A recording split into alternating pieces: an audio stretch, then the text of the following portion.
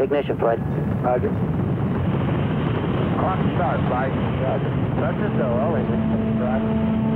Okay, Battle has... Men have been embarking on odysseys since the dawn of civilization. Okay, we're going one, In 1970, Captain James Lovell, commander of the ill-fated Apollo 13 mission, named his command module Odyssey. I decided to look up the definition of Odyssey, and it was indeed a long voyage with many changes of fortune. That it was, in spades. Uh, Houston, we've had a problem. We've had a main B bus undervolt. You see an AC bus undervolt there, guide? The granddaddy of all Odysseys comes to us from a thousand years before Christ. Translated to film in this old Kirk Douglas movie, it is the story of a mythical Greek warrior named Odysseus and his search for home. Together with its companion poem, the Iliad, they form Western literature's first action-adventure story, written by the man we call Homer. It is a grand adventure, an allegory of all our lives, writ large.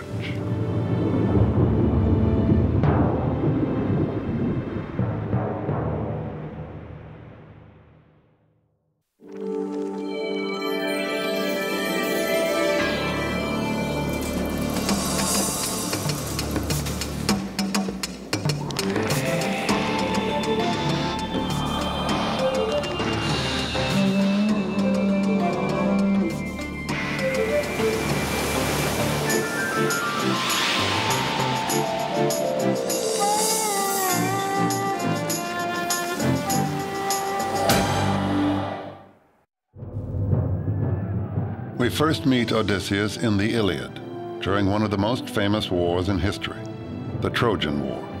We think the actual war happened, if it happened at all, around 1200 BC. It is in the Iliad that we read of Helen of Troy, the face that launched a thousand ships, and in the Odyssey, the Trojan horse, which taught us to beware of Greeks bearing gifts, or gifts bearing Greeks.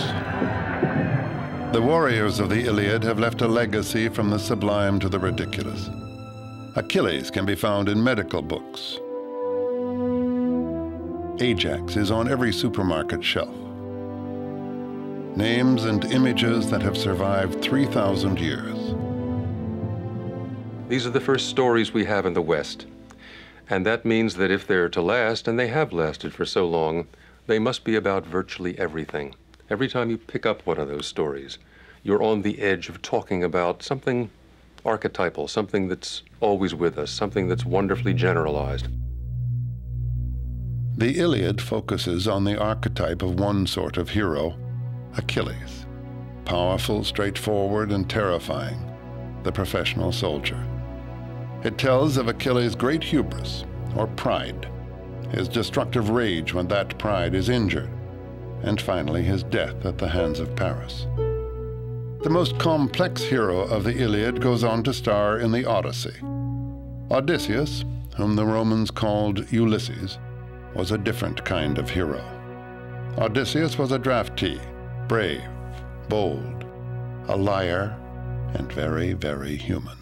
You may remember that James Joyce wrote his great work, Ulysses, based on Homer, and when he was asked why he did it, he said it was because uh, Ulysses was the only complete man in literature. He said that uh, the other great figures in literature are not complete.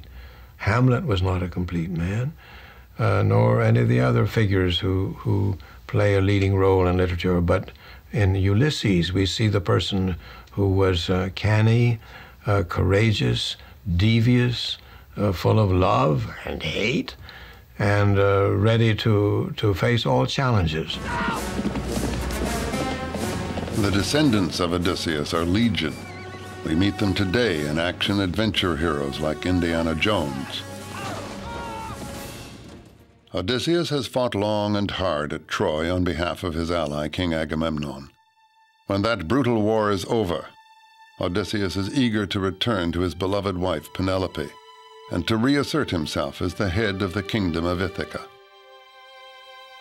The Odyssey is about that return trip. it is also an extended lesson in decorum.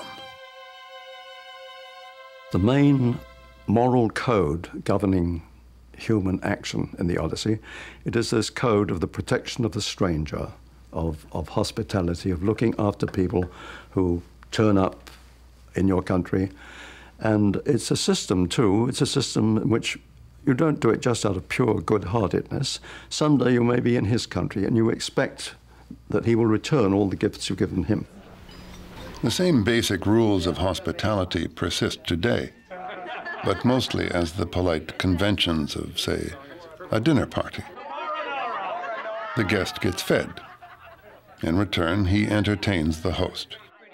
But back when civilization was just beginning to take hold, an offer of a meal could mean the difference between survival and death.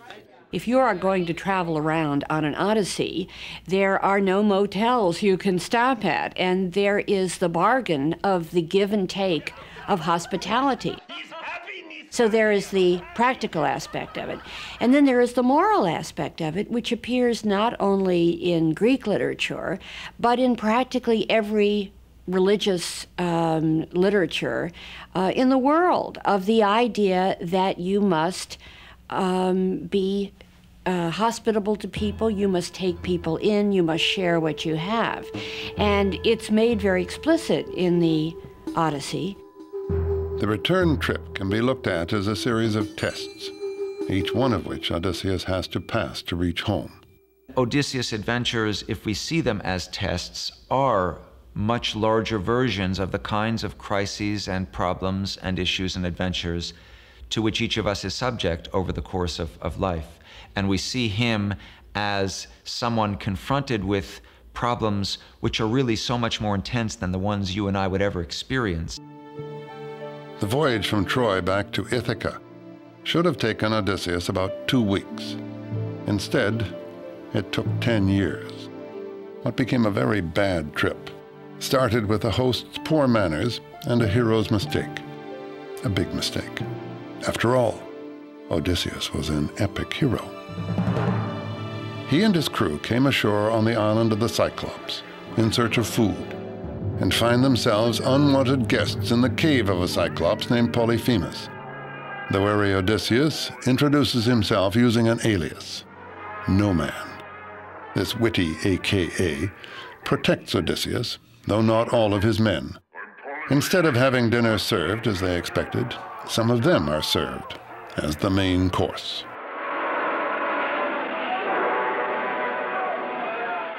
The Odyssey not only contains the basic rule, which is watch out whom you turn from your door, but it is full of marvelous examples of good and bad hosts and good and bad guests.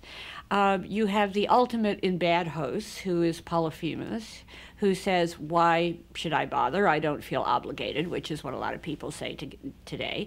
And so he takes his guests and batters their brains uh, on the floor and eats them.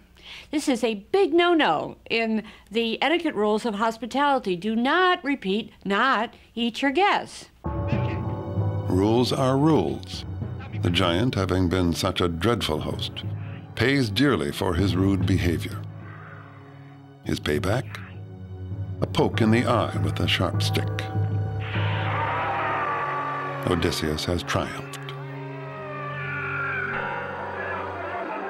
The Greeks liked the story for a number of reasons. Uh, first of all, it pitted a wily, clever Greek against a monster who was bigger and stronger, and yet the Greek wins out over him because he's so intelligent. When initially Polyphemus, having been blinded and running out of his cave in rage and in anger, and in trying to get the guy who did him in, who has told him up to this point, My name is no man, and it's a play but Polyphemus doesn't get it, he's too dumb. But Odysseus wouldn't be Odysseus if he chose to be remembered as no man. And in fact, we wouldn't be sitting here talking about him if that's all he had said. It's when he believes he's out of Polyphemus' reach that he yells back, The one who has blinded you, I am Odysseus, sacker of cities.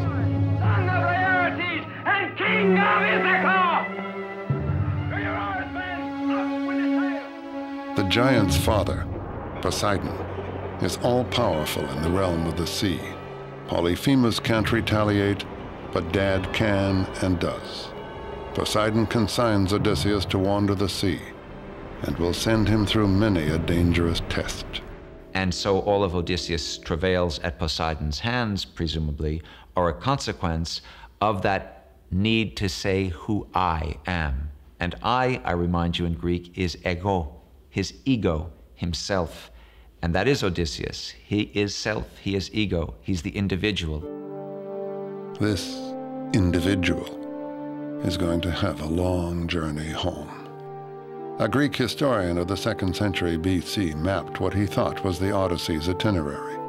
It was a route that took Odysseus to 12 different destinations, including Egypt, Africa, and Sicily, and across thousands of nautical miles. Along the way, he would lose each of his ships and all of his men. Some ego trip. Myth is not mere fiction. Its origins lie in the efforts of early peoples to explain the world about them. Myth can be thought of as a form of history, or even an early stab at science. To the ancient Greeks, the supernatural deities who lived on Mount Olympus represented two things the forces of nature, like water, wind, and air, and the nature of man, his desire, ambition, anger, and jealousy. And the gods not only reflected the world, they also shaped its destiny. The siege of Troy, which left Odysseus to embark on his monumental journey, is the direct result of squabbling among the gods. Not only do the gods set things in motion, but throughout the story they are never far from the action. In this all star struggle, Athena, the goddess of wisdom and champion of Odysseus, could represent reason and civilization, while Poseidon represents raw emotion and the forces of nature.